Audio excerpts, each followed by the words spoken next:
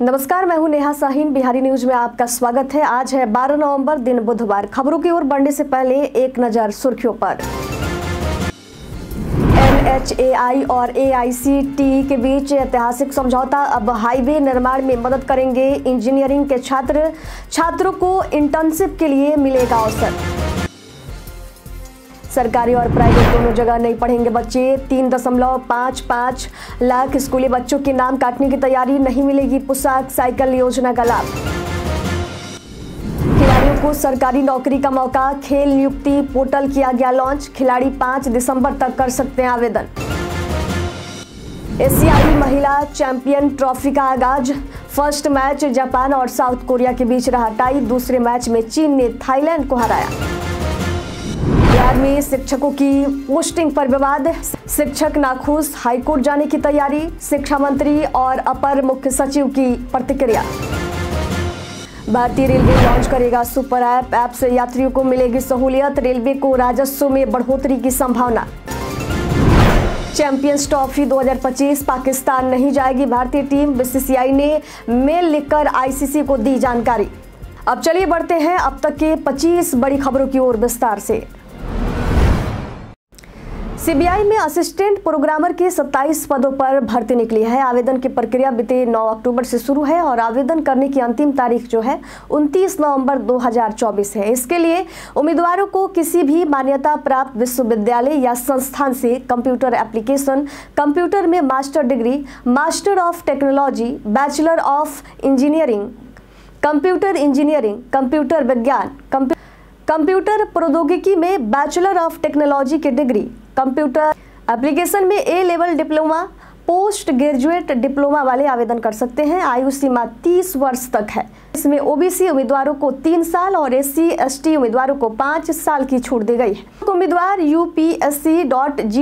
इन पर जाकर आवेदन कर सकते हैं। ए और राष्ट्रीय राजमार्ग विकास निगम के बीच एक ऐतिहासिक समझौता हुआ है, जिसके तहत बिहार के इंजीनियरिंग कॉलेज के छात्र, खासकर एमटेक और बीटेक के छात्र, राष्ट्रीय राजमार्ग निर्माण परियोजनाओं में तकनीकी सहयोग प्रदान करेंगे। राजमार्ग निर्माण में नए तकनीकी उपायों पर अपनी राय देंगे। इस सहयोग के तहत छात्रों को इंटर्नशिप के लिए अवसर मिलेगा, जिससे उन्हें प्रैक्टिकल अनुभव मिलेगा और उनका कौशल विकास भी होगा। मुजफ्फरपुर स्थित एमआईटी इंजीनियरिंग कॉलेज के प्राचार्य प्रोफेसर मिथिलेश कुमार झा ने बताया कि इस समझौते के तहत उनके कॉलेज के छात्र भी इस महत्वपूर्ण परियोजना में हिस्सा लेंगे, जिससे उनके करियर को नई दिशा मिलेगी। बिहारी पर्यटन में आज बात होगी तिलहर जलप्रपात की। बिहार राज्य के कैबूर क्षेत्र में स्थित तिलहर जलप्रपात, जो न केवल अपनी सुंदरता के लिए प्रसिद्ध है बल्कि यहाँ का प्राकृतिक दृश्य पर्यटकों को मंत्रमुग्ध कर देता है। तिलहर जलप्रपात दुर्गावती नदी के प्रारंभिक बिंदु के पास स्थित है और ये जगह घूमने के लिए बेहद खास है। यहाँ की खूबसूरत दृश्य और शांति का अनुभव करने के लिए लोग दूर दूर से यहाँ पहुँचते हैं। इस जलप्रपात के पास स्थित करमचट बाँध भी पर्यटकों के बीच आकर्षण का केंद्र है, जहाँ आप अपनी फैमिली और दोस्तों के साथ शानदार पिकनिक भी मना सकते हैं। राज्य में तीन लाख पचपन हज़ार से अधिक ऐसे स्कूली छात्र छात्राओं का पता चला है, जिन्होंने सरकारी और प्राइवेट दोनों में दोनों स्कूलों में अपना नाम दर्ज करा रखा है। अब इन बच्चों का नाम सरकारी स्कूलों से काटा जाएगा और उन्हें साइकिल, पोशाक जैसी सरकारी योजनाओं का लाभ नहीं मिल पाएगा। शिक्षा विभाग ने आधार कार्ड को स्कूली एडमिशन और आधार सीडिंग को अनिवार्य कर दिया है जिसके तहत ये आंकड़े सामने आए हैं। मुख्य सचिव डॉक्टर एस सिद्धार्थ ने स्पष्ट निर्देश दिया है कि सरकारी और प्राइवेट स्कूलों में पढ़ने वाले बच्चों का नाम हटाया जाएगा। ताकि योजनाओं का फ़ायदा सिर्फ़ उन्हीं छात्रों को मिले जो पूरी तरह से सरकारी स्कूलों में पढ़ रहे हैं। बिहार राज्य खेल प्राधिकरण ने खेल नियुक्ति पोर्टल लॉन्च किया है, जिससे राज्य के उत्कृष्ट खिलाड़ियों को सरकारी नौकरी का अवसर मिलेगा। ये पोर्टल बिहार के उत्कृष्ट खिलाड़ियों की सीधी नियुक्ति नियमावली 2023 के तहत लाइव हुआ है। खिलाड़ियों को राष्ट्रीय और अंतर्राष्ट्रीय स्तर पर राज्य और देश का नाम रोशन करने के लिए स्केल एक और स्केल दो के तहत सरकारी पदों पर नियुक्ति का मौका मिलेगा। खिलाड़ी पाँच दिसंबर दो हज़ार चौबीस तक ऑनलाइन आवेदन कर सकते हैं। खिलाड़ियों का उम्र 1 अगस्त 2024 को कम से कम 18 वर्ष होनी चाहिए। ये पहल मेडल लाओ नौकरी पाओ योजना का हिस्सा है। बिहार के निवासी खिलाड़ी, चाहे वे किसी अन्य राज्य या केंद्र सरकार के किसी भी प्रतिष्ठान में काम कर रहे हैं, वे इस योजना का लाभ उठा सकते हैं। बिहार राज्य बीज निगम ने किसानों के लिए एक नई सीड प्रोडक्शन पहल शुरू की है, जिससे वे विभिन्न फ़सलों का बीज उत्पादक बन सकते हैं और आर्थिक रूप से समृद्ध हो सकते हैं। इसके लिए किसानों को बिहार राज्य बीज निगम की वेबसाइट पर ऑनलाइन आवेदन करना होगा और उन्हें निरीक्षण शुल्क के रूप में तीन सौ प्रति हेक्टेयर और पंजीकरण शुल्क के रूप में पच्चीस रुपए का भुगतान करना होगा। ऑनलाइन आवेदन के बाद आधार बीज उपलब्ध कराया जाएगा। इस कार्यक्रम में भाग लेने के लिए किसान को कम से कम एक गाँव में 10 हेक्टेयर क्षेत्र में सीड प्रोडक्शन शुरू करना होगा। बीज के अंकुरण की जाँच, राजकीय बीज विश्लेषण प्रयोगशाला में की जाएगी और जाँच में पास होने पर किसानों को न्यूनतम समर्थन मूल्य पर 20 प्रतिशत भुगतान किया जाएगा। इसके बाद बीज की प्रोसेसिंग साफ़ सफ़ाई और साइज़ चयन की प्रक्रिया की जाएगी, जिसके बाद किसानों को बीस भुगतान मिलेगा। फ़सल के हर चरण में बसोका के निरीक्षकों द्वारा निरीक्षण किया जाएगा। बिहार की राजधानी पटना में 20 से 23 जनवरी 2025 तक देश भर के विधानसभाओं के पीठासीन अधिकारियों का अखिल भारतीय सम्मेलन आयोजित होगा। इस सम्मेलन का उद्देश्य विभिन्न पीठासीन अधिकारियों के बीच संवाद और अनुभव का आदान प्रदान करना है। बिहार विधानसभा द्वारा आयोजित इस पचासवीं सम्मेलन में देश भर से पीठासीन अधिकारी और उच्च स्तरीय प्रतिनिधि शामिल होंगे। सम्मेलन की तैयारी के लिए बिहार प्रशासनिक सेवा की 150 अधिकारियों को प्रतिनियुक्त किया गया है, जो 20 से 23 जनवरी तक अपनी ज़िम्मेदारी निभाएँगे।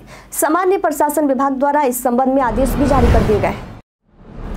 बीते दिन सीएम नीतीश कुमार ने राजगीर स्पोर्ट्स कॉम्प्लेक्स टूर्नामेंट का उद्घाटन किया और इसी के साथ एशियाई महिला चैंपियन ट्रॉफी का आगाज़ हो गया। अंतर्राष्ट्रीय स्तर पर होने वाला ये आयोजन 20 नवंबर तक देखने को मिलेगा। Bihar women's Asian hockey champions trophy का पहला मैच जापान और साउथ कोरिया के बीच टाई रहा। वही इसके दूसरे मैच में चीन ने थाईलैंड की टीम को पंद्रह शून्य शून्य से हराया है। राजगीर में हो रहे इस आयोजन को आप स्पोर्ट्स चैनल, सोनी लाइव और सोनी स्पोर्ट्स पर भी लाइव देख सकते हैं। बिहार शिक्षा विभाग ने शिक्षकों की पोस्टिंग के लिए नई गाइडलाइन जारी की है, जिसके तहत अब शिक्षकों को उनके ही ज़िले में पोस्ट किया जाएगा। इस नीति के तहत आवेदन भी लिए जा रहे हैं। शिक्षा विभाग के अपर मुख्य सचिव एस सिद्धार्थ ने कहा कि इस नीति को लेकर कोई विवाद नहीं है। वही शिक्षा मंत्री सुनील कुमार ने बताया कि शिक्षकों की समस्याओं को ध्यान में रखते हुए ये नीति बनाई गई है। उन्होंने स्पष्ट किया कि एक ही सब डिवीज़न वाले जिलों में सभी शिक्षकों को उसी क्षेत्र में पोस्टिंग दी जाएगी, जबकि कई सब डिवीज़न वाले जिलों में शिक्षकों को विभागीय रूप से विभाजित किया जाएगा राष्ट्रीय परीक्षण एजेंसी यानी कि एनटीए ने इस बार जेई मेन परीक्षा के लिए परीक्षा केंद्रों की संख्या बढ़ा दी है। इस बार दो सौ चौरासी शहरों में ये परीक्षा आयोजित होगी। इस परीक्षा में बिहार के 11 शहरों को शामिल किया गया है। इनमें पटना, मुजफ्फरपुर, गया, औरंगाबाद, भागलपुर, दरभंगा, आरा, समस्तीपुर, बिहार, शरीफ और रोहतास जैसे प्रमुख शहर शामिल हैं। पिछले साल ये संख्या दस थी। इसके अलावा इस बार जेई मेन और एडवांस की परीक्षा विदेशों में आयोजित होंगी। भारत के साथ साथ तेरह देशों के पंद्रह शहरों में ये परीक्षा होगी, जिनमें बहरीन, मलेशिया, जर्मनी, अमेरिका और सिंगापुर जैसे देश शामिल हैं। बिहार के शरद विवेक सागर, जो डेक्सटेरिटी ग्लोबल के संस्थापक हैं, उन्हें हार्वर्ड विश्वविद्यालय की लीडरशिप, उद्यमिता और शिक्षण पाठ्यक्रम में केस स्टडी के रूप में शामिल किया गया है। शरद का जीवन और काम हार्वर्ड के प्रोफेसरों द्वारा डॉक्टरेट छात्रों को पढ़ाया जाएगा। 16 वर्ष की आयु में डेक्सटेरिटी ग्लोबल की स्थापना करने वाले शरद सागर ने अब तक 275 करोड़ रुपए से अधिक की स्कॉलरशिप दिलवाने में मदद की है और दुनिया भर के मंचों पर भारत का प्रतिनिधित्व किया। शरद को क्वीन यंग लीडर जैसे सम्मान मिल चुके हैं। हाल ही में उन्हें वर्ल्ड इकोनॉमिक फोरम द्वारा यंग ग्लोबल लीडर के रूप में सम्मानित किया गया है। व्हाट्सएप ने एक नया फीचर पेश किया है, जिसके तहत अब यूज़र किसी इमेज को गूगल पर सर्च करके उसकी सत्यता चेक कर सकते हैं। इसे search image on the web नाम दिया गया है। फ़िलहाल ये फीचर बीटा वर्जन में उपलब्ध है। डब्ल्यू ए बेटा इन्फो ने इस फीचर के बारे में डिटेल्स से जानकारी देने के लिए एक स्क्रीन शॉट्स भी शेयर किया है, जिसमें बताया गया है कि इसे इस्तेमाल करने के लिए यूज़र को किसी इमेज पर क्लिक करना होगा और फिर चैट में दाहिनी ओर ऊपर दिए गए तीन डॉट्स पर क्लिक करके सर्च ऑन वेब विकल्प को चुनना होगा। इसके बाद इमेज को सीधे गूगल पर सर्च किया जाएगा, जिससे यूज़र को ये पता चल पाएगा इमेज की सोर्स क्या है और क्या ये इमेज असली है। या फिर नकली है। ये फीचर जल्द ही सभी यूज़र्स के लिए उपलब्ध होगा।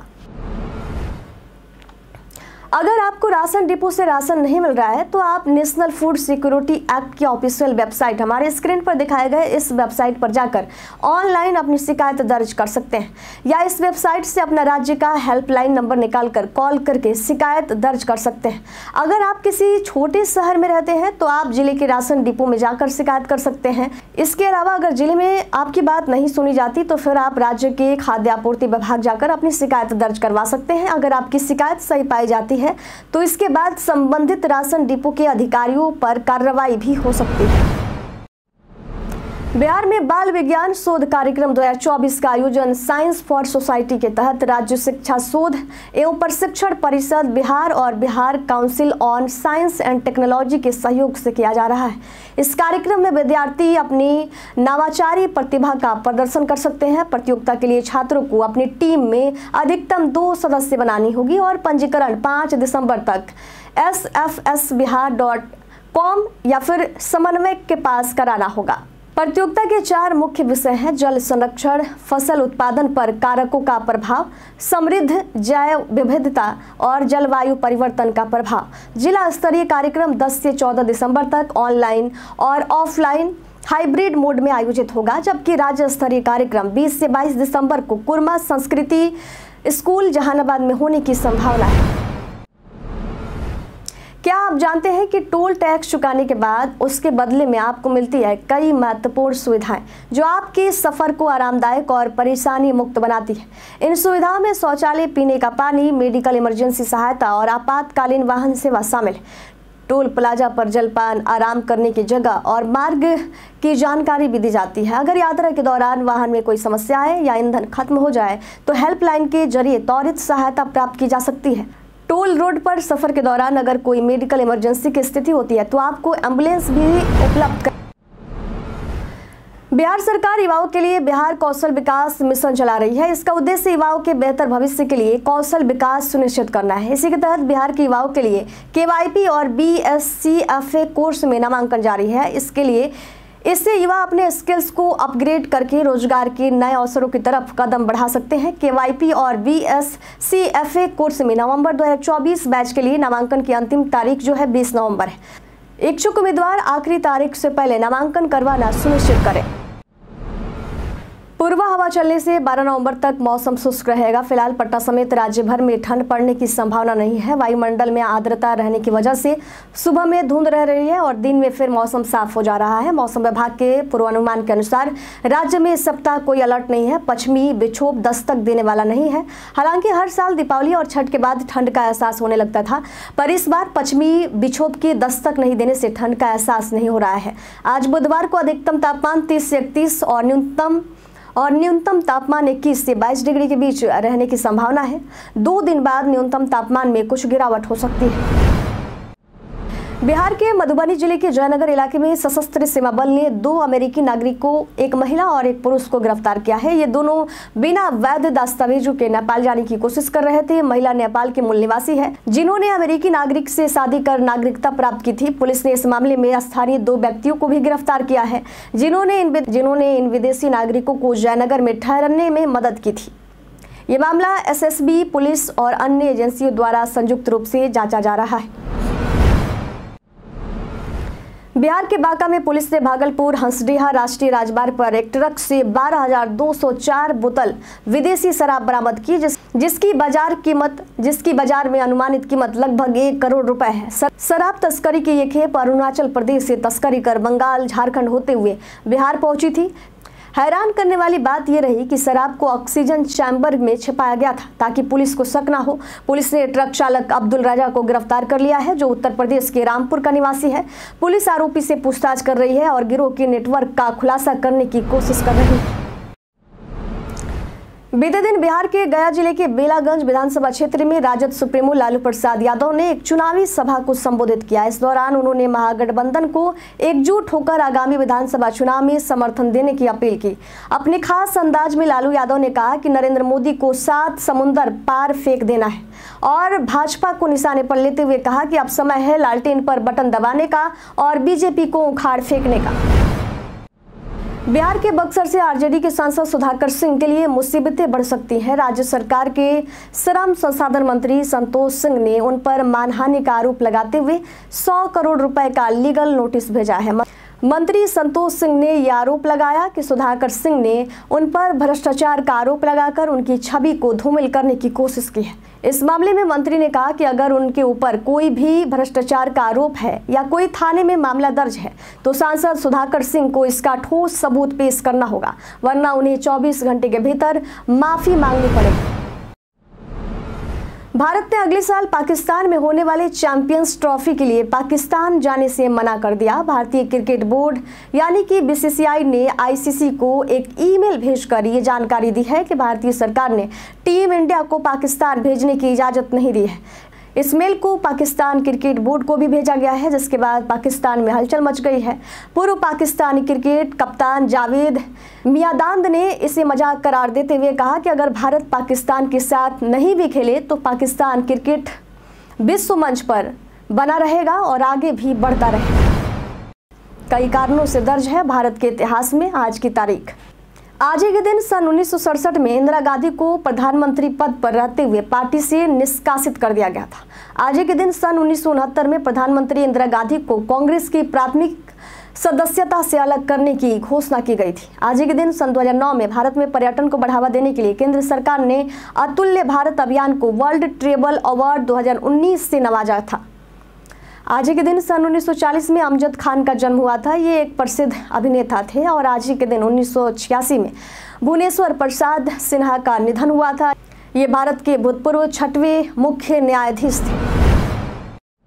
भारतीय रेलवे जल्द ही एक सुपर ऐप लॉन्च करने की तैयारी कर रहा है। इस ऐप के ज़रिए यात्री ticket booking PNR status, train का स्टेटस खान पान सेवाएँ और यहाँ तक कि पर्यटन सेवाएँ भी देख सकेंगे। इस ऐप का निर्माण रेलवे सूचना प्रणाली केंद्र यानी कि सीआरआईएस द्वारा किया जा रहा है और ये आई के मौजूदा सिस्टम के साथ मिलकर काम करेगा। रेलवे अधिकारियों के अनुसार ये ऐप साल के अंत तक लॉन्च किया जा सकता है। इससे यात्रियों को न केवल सुविधा मिलेगी, बल्कि बल्कि आईआरसीटीसी की कमाई भी बढ़ने की उम्मीद। सोशल मीडिया पर इन दिनों एक फर्जी अनुमोदन पत्र तेज़ी से वायरल हो रहा है, जिसमें दावा किया जा रहा है कि एमएसएमई मंत्रालय ने पीएम ईजीपी योजना के तहत इक्यावन हज़ार के भुगतान पर 17 लाख का ऋण देने की घोषणा की है। बता दें, ये दावा पूरी तरह से झूठी है। पीआईबी फैक्ट चेक ने भी इस फर्जी पत्र का खंडन किया है और साफ़ किया है कि मिनिस्ट्री ऑफ़ एमएसएमई किसी भी क्रेडिट योजना के तहत व्यक्तिगत लाभार्थियों के साथ सीधे तौर पर कोई भी वित्तीय लेन देन नहीं करती है। हम प्रतिदिन आपसे पाँच ऐसे ज़रूरी सवाल और उसके जवाब बताएँगे जो कि बीपीएससी, बिहार पुलिस, दारोगा समेत एसएससी जैसे अन्य प्रतियोगी परीक्षाओं में काम आएँगे। सवाल इतिहास, बिहार स्पेशल विज्ञान, करेंट अफेयर्स और भूगोल से रहेंगे। पूछे गए पाँचों सवाल में आपने कितना सही उत्तर दिया, ये हमें कमेंट करके ज़रूर बताइएगा। हमारा पहला सवाल है, हाल ही में यूएस में सैतालीसवें राष्ट्रपति के रूप में किसने जीत दर्ज की है? ऑप्शन ए है डोनाल्ड ट्रंप, ऑप्शन बी है कमला हैरिस ऑप्शन सी है जो बाइडेन और ऑप्शन डी है मिसेल ओमावा। इसका सही उत्तर होगा डोनाल्ड ट्रंप। हाल ही में महासागर शिखर सम्मेलन की मेजबानी किस देश ने की? ऑप्शन ए है भूटान, ऑप्शन बी है नेपाल, ऑप्शन सी है भारत और ऑप्शन डी है थाईलैंड। इसका सही उत्तर होगा भारत। अंतर्राष्ट्रीय सौर गठबंधन का अध्यक्ष किसे चुना गया है? ऑप्शन ए है भारत, ऑप्शन बी है फ्रांस, ऑप्शन सी है ऑस्ट्रेलिया और ऑप्शन डी है दक्षिण अफ्रीका। इसका सही उत्तर होगा भारत। बिहार में सदर अंजुमन ए हिंद नामक संस्था के संस्थापक थे। ऑप्शन ए है गजाधर प्रसाद, ऑप्शन बी है sir Ali Imam, option C है पुरेंदु नारायण सिन्हा, ऑप्शन डी है मुंशी प्यारेलाल। इसका सही उत्तर होगा मुंशी प्यारेलाल। सतयुग नामक पत्रिका किसने प्रकाशित किया था? ऑप्शन ए है महेश नारायण, ऑप्शन बी है पुरुषोत्तम नारायण नंदा, ऑप्शन सी है बाबू महेश्वरी, और ऑप्शन डी है इनमें से कोई नहीं। इसका सही उत्तर होगा बी पुरुषोत्तम नारायण नंदा। बीते दिन हमारे द्वारा पूछे गए सवाल का जवाब आप लोगों में से बहुत लोगों ने हमारे कमेंट बॉक्स सेक्शन में लेकर दिया है। जिन्होंने हमारे द्वारा पूछे गए सवाल का जवाब दिया है। उनके नाम है सचिन कुमार, मोतीलाल कुमार, मुन्ना प्रसाद, अनिल यादव, विनय कुमार विनय कुमार, राजू पटेल, राजकिशोर महतो, जितेंद्र ठाकुर, सुलेखा कुमारी, बाबूलाल मरांडी, रोहित कुमार मंडल, विवेक मिश्रा, मोहम्मद जाम्स, पुष्पा कुमारी, राजेश माझी, विजय घायल, शंकर दयाल शंकर दयाल यादव, मोनू सोनू राज, नेहा कुमारी, उमेश ऋषिदेव, मोहम्मद साकिर हुसैन, संजीव कुमार संजीव कुमार, नरेंद्र कुमार, पंकज कुमार दास, छोटू रजा। इसी के साथ बढ़ते हैं आज के सवाल की ओर और आज का सवाल है, क्या आपने सरकार से कोई सब्सिडी या सहायता प्राप्त की है? आप अपना जवाब हमें हमारे कमेंट सेक्शन में लिखकर ज़रूर बताएँ। आज के लिए इतना ही।